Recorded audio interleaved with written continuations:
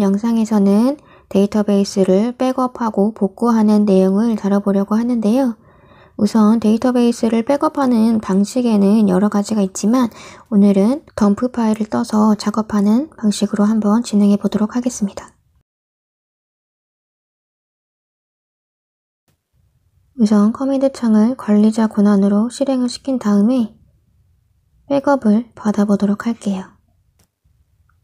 저는 데이터베이스를 싹 밀어버리고 다시 설치할 예정이기 때문에 전체를 다 백업 받도록 하겠습니다.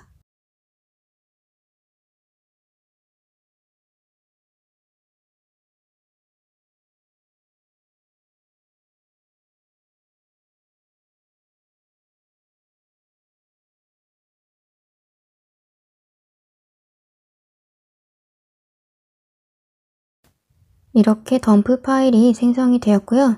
저는 이제 잠시 오라클을 밀고 새로 설치를 한 다음에 다시 돌아오도록 할게요.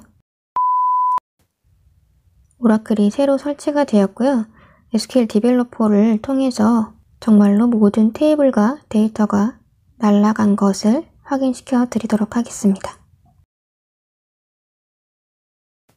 우선 설치가 끝나고 제가 미나라는 계정을 생성을 한 후에 DBA 권한을 부여해 놓은 상태이고요. 미나로 접속을 해서 테이블 목록을 한번 확인해 보도록 할게요. 테스트 테이블 하나만 지금 있는 것을 확인하실 수가 있고요. 그럼 이제 아까 백업해 놓은 파일을 한번 가져와 보도록 하겠습니다. 커맨드 창을 다시 관리자 권한으로 실행을 시켜주고요. 먼저 아까 생성해 놓은 덤프 파일이 잘 있는지를 확인을 한번 해볼게요. 여기에 잘 있는 것을 보실 수가 있고요. 이제 이 아이를 새로운 데이터베이스에 넣어주도록 하겠습니다.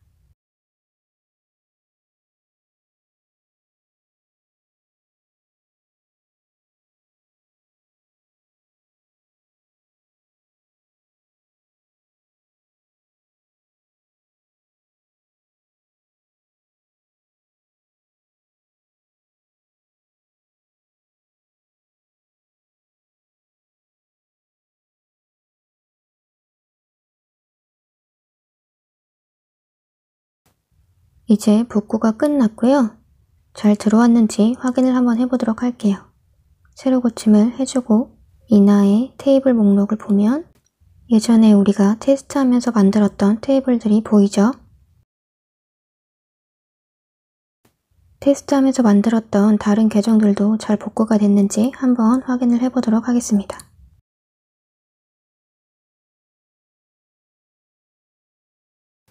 목록에 타미 유저가 보이는 것을 확인하실 수가 있고요. 타미로 한번 접속을 해보도록 할게요. 사용자 이름과 비밀번호를 기존 정보 그대로 입력을 해주고요. 접속 테스트를 해보니 성공이 떴네요. 그럼 이제 접속을 해서 테이블 목록이 잘 있는지 확인을 해봐야겠죠? 네, 이렇게 만들어 놓았던 테이블들이 잘 보이는 것을 확인하실 수가 있습니다. 이렇게 전체 정보를 모두 옮길 수도 있지만 특정 유저나 특정 테이블만 옮기는 기능도 있으니까요. 상황에 맞게 적절하게 이용하시면 좋을 것 같습니다. 그럼 오늘은 여기까지 할게요. 안녕